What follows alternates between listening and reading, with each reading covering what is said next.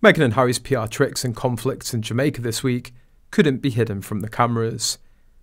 Today, there's a backstage clip showing Meghan Markle bullying her assistant after she advised Meghan and Harry to stand back and wait for the Paramount CEO and his wife to finish taking photos. I've watched this a couple of times, and you can clearly see the assistant saying something to Meghan, who looks at her, lets her mask slip, then looks away whilst blinking furiously, as we know that she does when told something unpleasant. The assistant continuing to speak even as Meghan swishes past, and it looked to me almost as if she were mouthing, Oh my god. Finally, we see Meghan Markle spot the camera recording this action, and she locks her reptilian gaze onto the lens for a full two seconds. So creepy. That gaze makes my skin crawl. Meghan looks like she feels empowered by a reaction to the assistant. The assistant looks like she can't believe it just happened. Harry looks beaten down. There's also a video from another angle.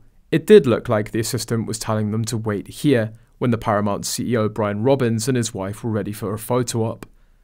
But they just pushed past her while the Robbins were still having their pictures taken. The husband then tried to get out of there quickly.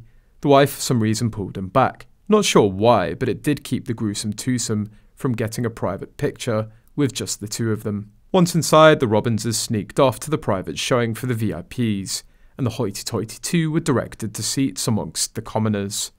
The assistant said something she didn't like. You have to wait until they leave, meaning Paramount CEO and wife. Something was definitely said because a rapid blinking is not now.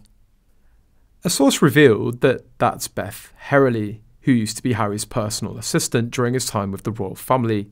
She and another staffer, Beth Loughran, left the royal family and founded a PR company, Herrely Loughran.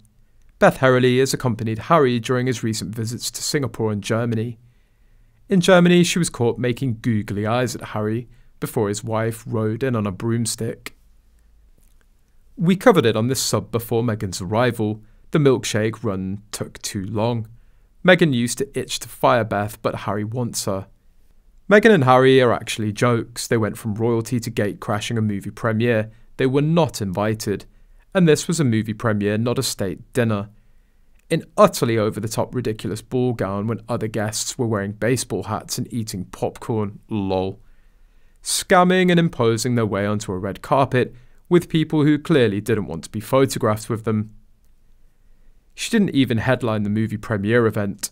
She's supposedly royal, but unlike real royalty, she had to wait until the Paramount CEO and his wife take their pictures taken on the red carpet, who totally ignored their existence. She entered through the shady back entrance when some random person stepped on a ridiculous over the top dress.